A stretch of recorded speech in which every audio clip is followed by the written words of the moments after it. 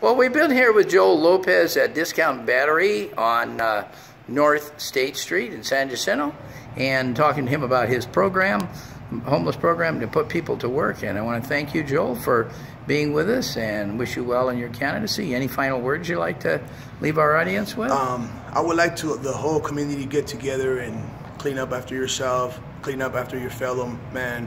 Um, just spread the word. Um, you know, let's keep the city beautiful. Let's keep it clean.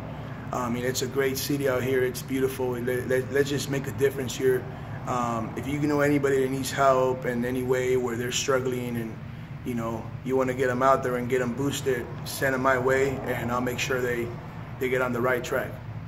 Well, thank you very much, Joel, for your yeah, time. And now we've got now we got the supervisor coming in here. And, he's got Joel, and you want to introduce this gentleman here? He's helped me out a lot. Uh, very grateful for the opportunity, and he, he means what he says, and he says what he says. Joel, could you introduce our guest here? This is Michael here. I'm Michael Furtha, Blue Notes Organization. I also organize the homeless. Yeah, this guy helps me um, um, recruit more homeless. Um, he helps me um, get them on track. He talks to the people. He um, actually gives, he motivates the homeless as well.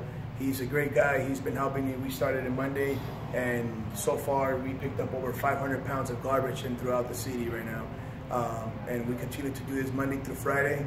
Um, this guy's a great gentleman. He works really hard out there. We all work hard together.